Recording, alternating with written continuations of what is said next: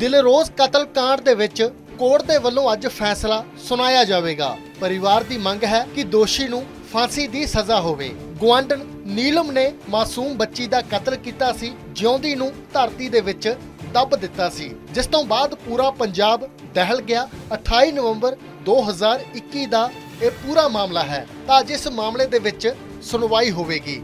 ਕਾਬਿਲੇ ਗੌਰ ਹੈ ਕਿ ਮੁਲਜ਼ਮ ਔਰਤ ਤਲਾਕਸ਼ੁਦਾ ਹੈ ਅਤੇ ਉਸਦੇ ਦੋ ਬੱਚੇ ਨੇ। ਪੀੜਤ ਧਿਰ ਦੇ ਵਕੀਲ ਨੇ ਦਲੀਲ ਦਿੱਤੀ ਕਿ ਇਹ ਮਾਮਲਾ ਗੰਭੀਰ ਹੈ।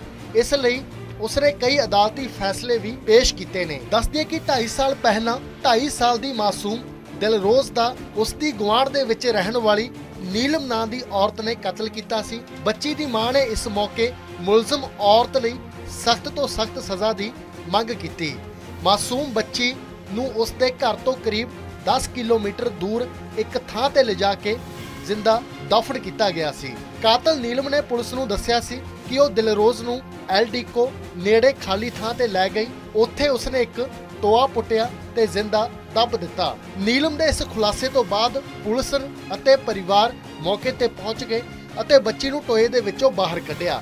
ਤੁਰੰਤ ਡੀਐਮਸੀ ਹਸਪੀਟਲ ਦੇ ਵਿੱਚ ਲੈ ਗਏ, ਪਰ ਡਾਕਟਰਾਂ ਨੇ ਮ੍ਰਿਤਕ ਘੋਸ਼ਿਤ ਕਰ ਦਿੱਤਾ।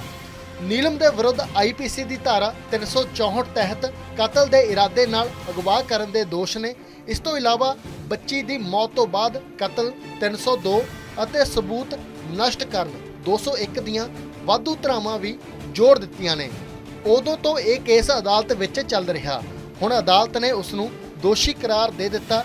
ਥੋੜੇ ਸਮੇਂ ਬਾਅਦ ਫੈਸਲਾ ਆਵੇਗਾ ਕਿ ਦੋਸ਼ੀ ਨੂੰ ਕੀ ਸਜ਼ਾ ਦਿੱਤੀ ਗਈ ਹੈ। ਫਾਂਸੀ ਜਾਂ ਉਮਰ ਕੈਦ। ਪਰ ਦੂਜੇ ਪਾਸੇ ਪੀੜਤ ਪਰਿਵਾਰ ਫਾਂਸੀ ਦੀ ਸਜ਼ਾ ਮੰਗ ਰਿਹਾ ਔਰ ਦਿਲਰੋਜ਼ ਦੇ ਕਤਲ ਨੂੰ ਲੈ ਕੇ ਪੀੜਤ ਪਰਿਵਾਰ ਦੇ ਵੱਲੋਂ ਇਨਸਾਫ ਲਈ ਕੈਂਡਲ ਮਾਰਚ ਵੀ ਕੱਢਿਆ ਗਿਆ ਸੀ। 28 ਨਵੰਬਰ 2021 ਨੂੰ ਸ਼ਿਮਲਾਪੁਰੀ ਇਲਾਕੇ ਦੇ ਵਿੱਚ ਇਹ ਕਤਲ ਕਾਂਡ ਹੋਇਆ ਸੀ, ਜਿਸ ਦੇ ਨਾਲ ਪੂਰਾ ਪੰਜਾਬ ਦਹਿਲ ਗਿਆ ਸੀ।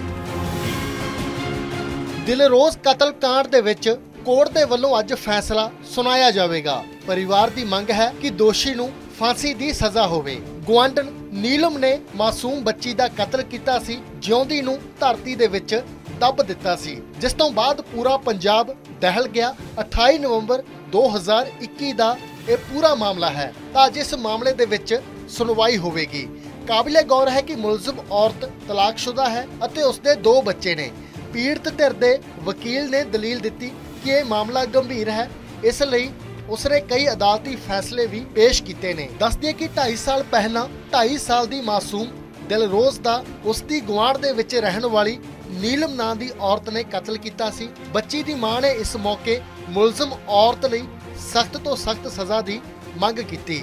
ਮਾਸੂਮ ਬੱਚੀ ਨੂੰ ਉਸਦੇ ਘਰ ਤੋਂ ਕਰੀਬ 10 ਕਿਲੋਮੀਟਰ ਦੂਰ ਇੱਕ ਥਾਂ ਤੇ ਲਿਜਾ ਕੇ ਜ਼ਿੰਦਾ ਦਫਨ ਕੀਤਾ ਗਿਆ ਸੀ। ਕਾਤਲ ਨੀਲਮ ਨੇ ਪੁਲਿਸ ਨੂੰ ਦੱਸਿਆ ਸੀ ਕਿ ਉਹ ਦਿਲਰੋਜ਼ ਨੂੰ ਐਲਡੀਕੋ ਨੇੜੇ ਖਾਲੀ ਥਾਂ ਤੇ ਲੈ ਗਈ। ਉੱਥੇ ਉਸਨੇ ਇੱਕ ਟੋਆ ਪੁੱਟਿਆ ਤੇ ਜ਼ਿੰਦਾ ਦੱਬ ਦਿੱਤਾ। ਨੀਲਮ ਦੇ ਇਸ ਖੁਲਾਸੇ ਤੋਂ ਬਾਅਦ ਪੁਲਿਸ ਅਤੇ ਪਰਿਵਾਰ ਮੌਕੇ ਤੇ ਪਹੁੰਚ ਗਏ ਅਤੇ ਬੱਚੀ ਨੂੰ ਟੋਏ ਦੇ ਵਿੱਚੋਂ ਬਾਹਰ ਕੱਢਿਆ।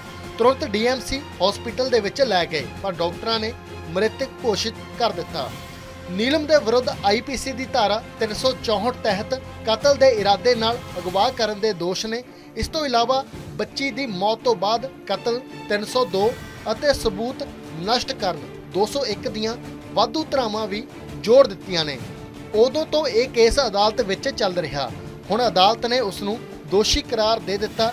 ਥੋੜੇ ਸਮੇਂ ਬਾਅਦ ਫੈਸਲਾ ਆਵੇਗਾ ਕਿ ਦੋਸ਼ੀ ਨੂੰ ਕੀ ਸਜ਼ਾ ਦਿੱਤੀ ਗਈ ਹੈ। ਫਾਂਸੀ ਜਾਂ ਉਮਰ ਕੈਦ। ਪਰ ਦੂਜੇ ਪਾਸੇ ਪੀੜਤ ਪਰਿਵਾਰ ਫਾਂਸੀ ਦੀ ਸਜ਼ਾ ਮੰਗ ਰਿਹਾ ਔਰ ਦਿਲਰੋਜ਼ ਦੇ ਕਤਲ ਨੂੰ ਲੈ ਕੇ ਪੀੜਤ ਪਰਿਵਾਰ ਦੇ ਵੱਲੋਂ ਇਨਸਾਫ ਲਈ ਕੈਂਡਲ ਮਾਰਚ ਵੀ ਕੱਢਿਆ ਗਿਆ ਸੀ। 28 ਨਵੰਬਰ 2021 ਨੂੰ ਸ਼ਿਮਲਾਪੁਰੀ ਇਲਾਕੇ ਦੇ ਵਿੱਚ ਇਹ ਕਤਲकांड ਹੋਇਆ ਸੀ, ਜਿਸ ਦੇ ਨਾਲ ਪੂਰਾ ਪੰਜਾਬ ਦਹਿਲ ਗਿਆ ਸੀ।